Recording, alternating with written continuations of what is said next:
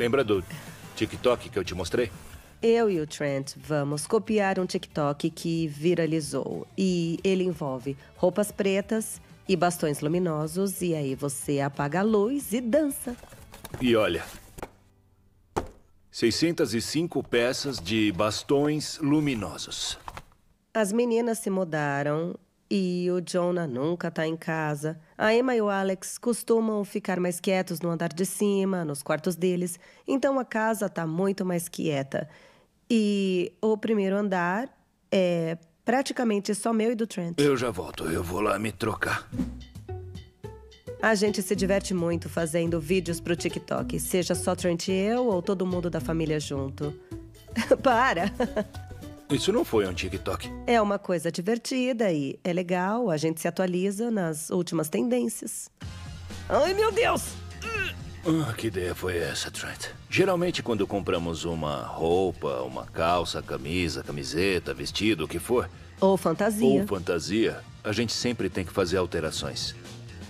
Essas roupas eram para ser menores do que o tamanho padrão, então ficaram bem apertadas. Ai, tá bom, foi um pouco demais já. Como elas eram de elastano, foi isso que ajudou, porque elas ficaram com bastante sobra nos braços e nas pernas, mas a gente conseguiu puxar. Levanta que eu puxo para você.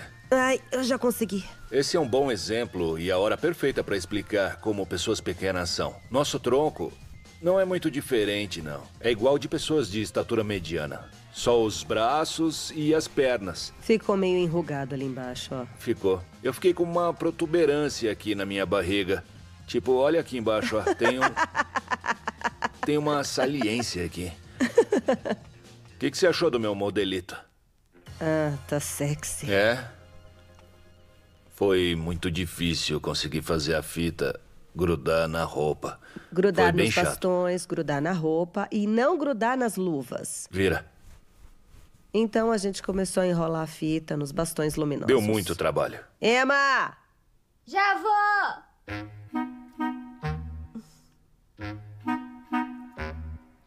Adivinha quem é quem?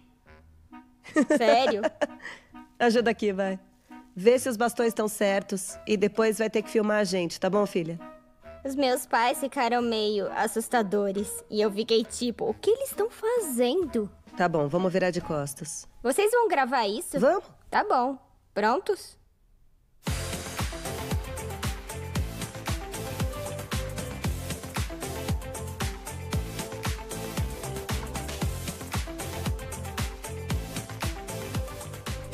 O meu parceiro de dança é muito bom, mas ele podia ter se jogado um pouquinho mais.